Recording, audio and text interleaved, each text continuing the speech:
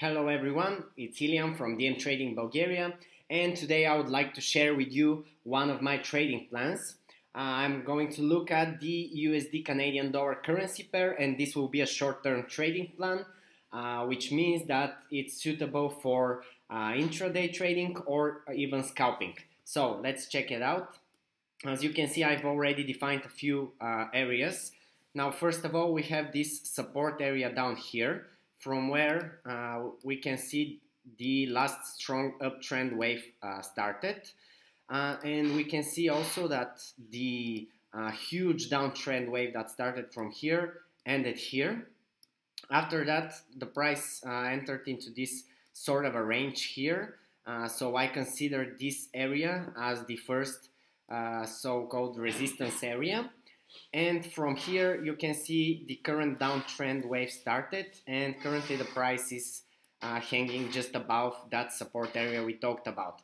Now, in this case, uh, there are a few uh, possible opportunities for me.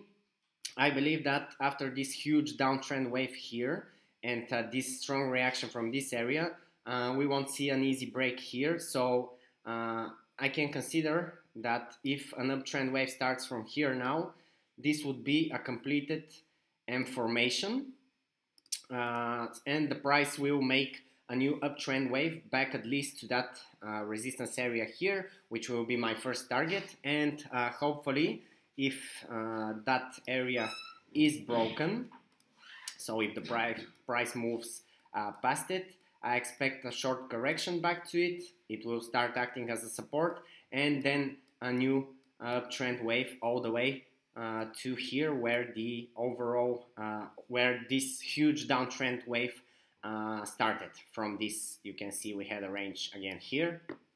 So uh, this is the short-term plan. I will start looking for uh, buy positions from over here on the M5 time frame. you can also look for those types of entry points on the H1, but you might miss a whole uh, movement. So I uh, would advise you to go to the lower time frames. And as a first target, I will uh, look at that resistance area. This plan will be posted on TradingView with all the zones uh, in numbers. So check it out there and check out uh, its progress. Of course, if the support area is broken and the price continues down, I won't trade on it.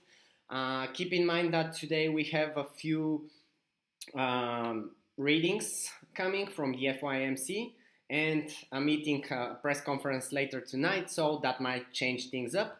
But uh, we'll see what happens. Live sign-offs will be posted on our Telegram group, so join now through the link below this video if you haven't. Have a great week.